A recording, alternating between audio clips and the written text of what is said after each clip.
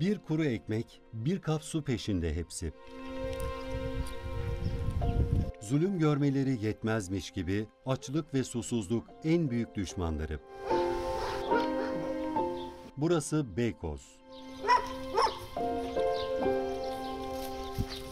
Ormanın içinde başıboş yüzlerce köpek ne seslerini duyurabiliyorlar ne yaşadıkları acıları anlatabiliyorlar.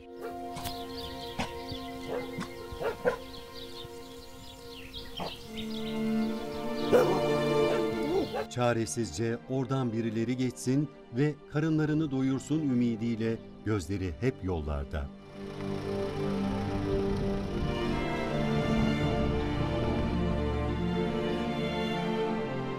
Kuru bir ekmek, biraz artık yemek onlar için hayat kavgası.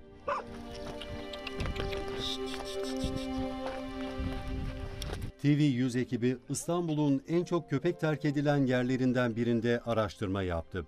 Karşılaştığı manzara işte bu.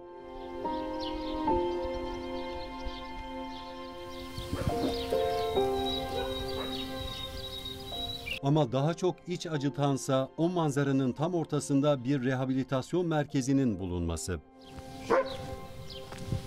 Hemen yanımda da e, Beykoz Belediyesi'ne bağlı hayvan rehabilitasyon merkezi var.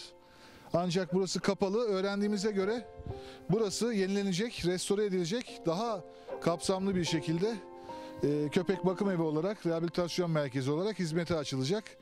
E, tabii bu süreçte de ne yazık ki e, hayvanlar yine rehabilitasyon merkezinin çevresindeki ormanlık alanda yaşam mücadelesi veriyorlar.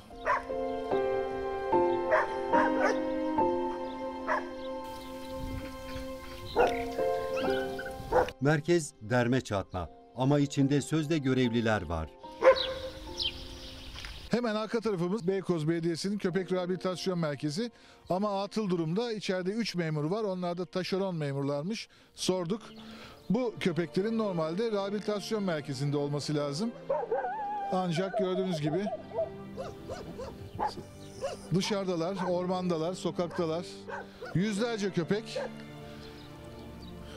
burada yaşamaya çalışıyor. İşte hemen yan taraf Beykoz Belediyesi'nin hemen mama hazırlama yeri var, mama verme yeri var, küçük kulübeler var, her şey var ama köpekler dışarıda.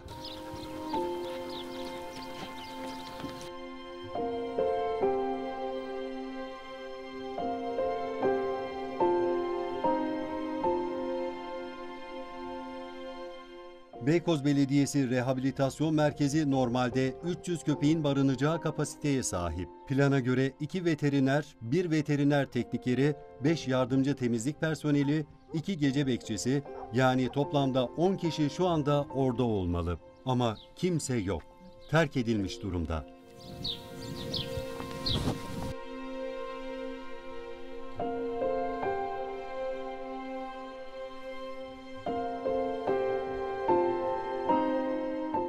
Köpeklerin durumunu soran kimse de yok.